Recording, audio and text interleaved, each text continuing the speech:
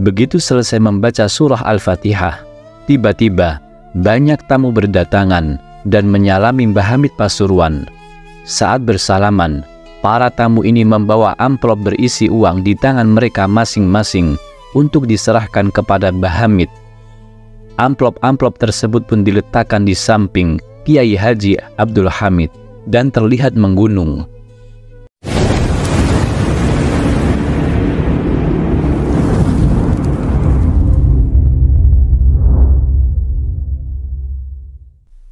Assalamualaikum warahmatullahi wabarakatuh. Alhamdulillah. Allahumma salli ala Sayyidina Muhammad wa ala alihi wa sahbihi ajma'in. Sobat kalam karomah yang dimuliakan Allah. Pada video ini, kita akan membahas kisah ketika kewalian Bahamid Pasuruan terus diuji oleh para kiai.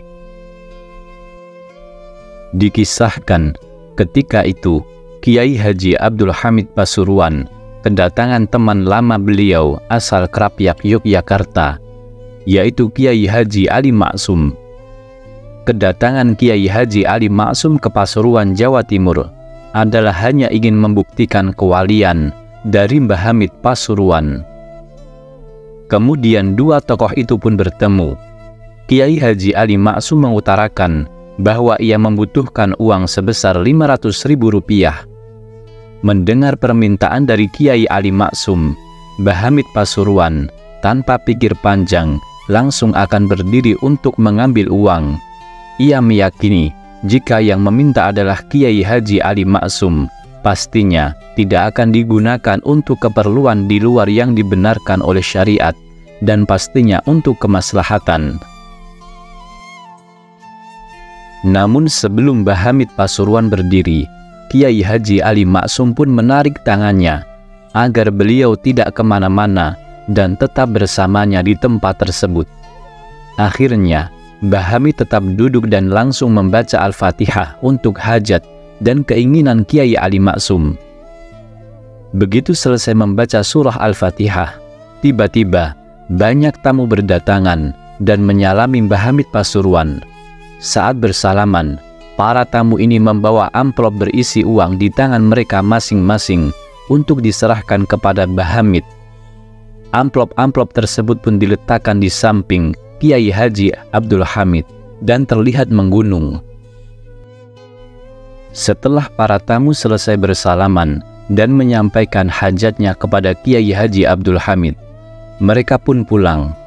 Sejurus kemudian, Tumpukan amplop itu pun didorong ke hadapan Kiai Haji Ali Maksum yang masih berada di tempat tersebut. Amplop-amplop itu pun dibuka oleh Kiai Haji Ali Maksum. Satu persatu uang dalam amplop dikeluarkan dan dihitung oleh Kiai Ali Maksum sendiri. Dan berapa jumlah amplop yang ada? Setelah dihitung dengan cermat, total uang yang ada sebesar 500 ribu rupiah tidak kurang dan tidak lebih. Sobat Kalam Karomah yang dimuliakan Allah. Kisah lain juga terjadi saat Kiai Haji Bisri Mustafa, Rembang, bertamu ke kediaman Bahamid Pasuruan. Kiai Bisri mengungkapkan keinginannya untuk memiliki kendaraan mobil yang bisa digunakan untuk berdakwah ke daerah-daerah yang jauh. Beliau meminta Kiai Haji Abdul Hamid untuk mendoakan hajatnya karena beliau yakin bahwa Kiai Haji Abdul Hamid adalah sosok wali yang dekat dengan Allah Subhanahu wa taala. Mereknya apa Kiai? Tanya Kiai Haji Bisri Mustafa. Kalau enggak Fiat, ya Holden. Jawab Mbah Hamid Pasuruan. Tak berselang lama dari pertemuan keduanya, setelah mendapatkan rizki yang cukup, Kiai Haji Bisri Mustafa meminta putranya yaitu Kiai Haji Mustafa Bisri, untuk mencari dan membeli mobil. Pencarian ini dilakukan dari Jakarta sampai dengan Surabaya, dan anehnya, tidak ada yang ditemui dan menawarkan mobil kecuali bermerek Fiat dan Holden. Akhirnya terbukti apa yang dikatakan oleh Kiai Haji Abdul Hamid, bahwa merek mobil yang didapat adalah Holden. Sobat Kalam Karomah yang dimuliakan Allah. Dalam buku Ziarah Wali Kiai Hamid Pasuruan dan Tradisi Islam Nusantara, karangan Dr. Badruddin, diceritakan juga kewalian Bahamid Pasuruan yang disebut Waruh Sa'durunge Winarah atau tahu sebelum kejadian. Suatu hari, ada seorang tamu jauh bertamu ke kediaman Kiai Haji Abdul Hamid Orang ini memiliki uang 20 ribu dan ingin memberikan amplop dengan isi 10 ribu rupiah kepada Kiai Haji Abdul Hamid. Namun karena ia terburu-buru, orang ini belum sempat menukarkan uang sampai ia masuk ke dalam rumah Mbah Hamid Pasuruan.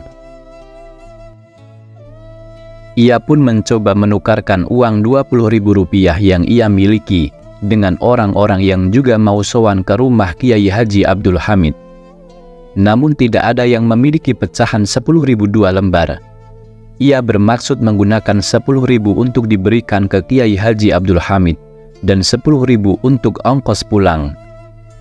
Belum juga menemukan tukaran uang, tiba-tiba Kiai Haji Abdul Hamid keluar untuk menemui para tamu, termasuk orang ini.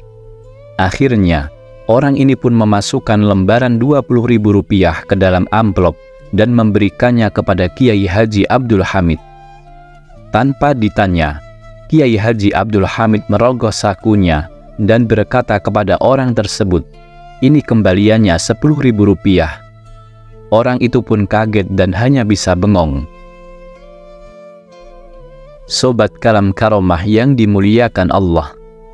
Ada juga kisah saat salah seorang kiai ingin sowan kepada Kiai Haji Abdul Hamid Sejak pagi, Kiai ini sudah sampai di kediaman Kiai Haji Abdul Hamid, menunggu untuk bisa bertemu beliau.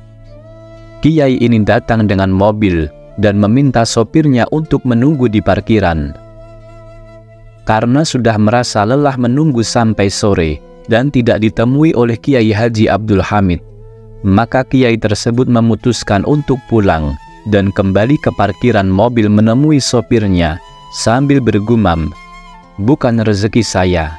Sudah menunggu lama dari pagi sampai sore, tidak ditemui oleh Kiai Haji Abdul Hamid." Katanya kepada sopir mobilnya. Sopirnya pun nampak bingung dan menjawab, "Loh, selama Kiai menunggu beliau, Kiai Haji Abdul Hamid malah duduk-duduk bareng saya, ngobrol dengan saya." Kata sang sopir, Kenapa kiai ini tidak ditemui oleh Kiai Haji Abdul Hamid?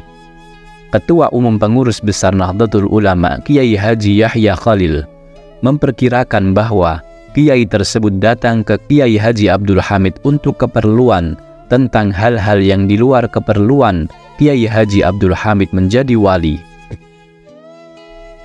Kisah-kisah kewalian Kiai Haji Abdul Hamid Pasuruan ini diungkapkan Gus Yahya untuk mengingatkan bahwa seorang wali Allah atau kekasih Allah yang makomnya begitu dekat dengan Allah tidak akan melakukan sesuatu yang keluar dari keperluan kewaliannya.